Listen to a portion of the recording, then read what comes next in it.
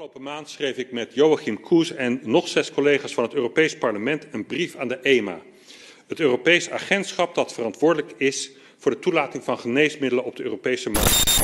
En daarin vroegen wij opheldering over de vele problemen rond de COVID-vaccins. En deze problemen zijn zo groot dat wij de EMA vroegen om intrekking van de markttoelating. Deze maand ontvingen wij, ontvingen wij van de EMA een antwoord op onze brief. En dit antwoord bevat feiten. Allereerst stelt de EMA expliciet dat zij de coronavaccins alleen en uitsluitend op de markt heeft toegelaten voor individuele immunisatie en absoluut niet voor beheersing van besmetting en absoluut niet voor het voorkomen of verminderen van besmettingen. En dit is vernietigend voor regeringen die vol op het campagneorgel zijn gegaan met de boodschap: je doet het voor een ander. Niets daarvan klopt.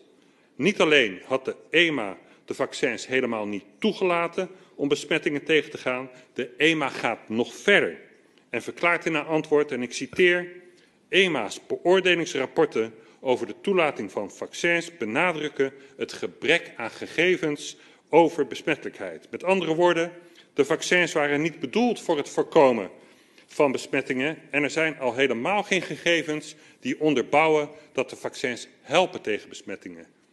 Sterker nog, de EMA verklaart herhaalde blootstelling aan het virus verhoogt de kans op infecties, zelfs in gevaccineerden. De massale overheidscampagnes om jezelf te laten vaccineren, om je ouders, je buren, de zwakkeren in de maatschappij te beschermen, waren niet alleen ongeautoriseerd, maar ook volkomen onzin en niet gebaseerd op feiten. Maar helaas wordt het nog erger. De EMA zegt, de vaccinaties zijn uitsluitend voor de bescherming van het gevaccineerde individu. En voordat het individu, de patiënt, gevaccineerd wordt, moet, en ik citeer opnieuw de EMA, alle veiligheidsinformatie zorgvuldig worden overwogen alvorens een vaccinatie toe te dienen of aan te bevelen. Je mocht dus alleen in aanmerking komen voor een vaccinatie nadat een arts had vastgesteld dat dit in jouw geval verstandig was.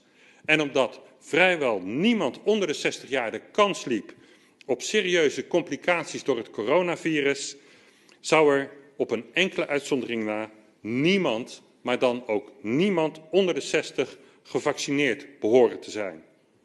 Dus de sporthallen vol met vaccinprikkers waren compleet in strijd met het gebruik waarvoor de vaccins waren toegestaan door de EMA. En het wordt nog erger. Om de veiligheid van de vaccins te beoordelen was het voor de EMA essentieel dat bijwerkingen goed zouden worden geregistreerd. En de EMA zegt hierover, wij verwachten vele rapportages van bijwerkingen die optreden tijdens of kort na de vaccinatie.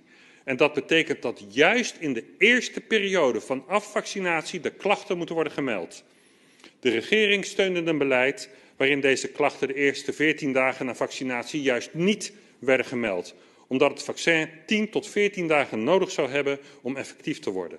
Alle klachten in die periode werden juist aan het coronavirus toegeschreven. En dat is niet alleen frauduleus, het is moedwillig in gevaar brengen van mensenlevens. En ik herinner u er nog maar eens aan dat we nog steeds kampen met een gigantisch, zogenaamd onverklaarde oversterfte. Kort samengevat, deze informatie van de EMA is vernietigend voor het gevoerde vaccinatiebeleid van Rutte en de Jonge. De regering wist dat de vaccins niet zouden beschermen tegen de verspreiding van het virus, maar deelde deze informatie niet met de burgers. Integendeel, het drong de vaccins aan onze burgers op met leugens, verdoezelde de bijwerkingen en bracht hiermee de gezondheid van iedereen die zo'n vaccin genomen heeft in gevaar.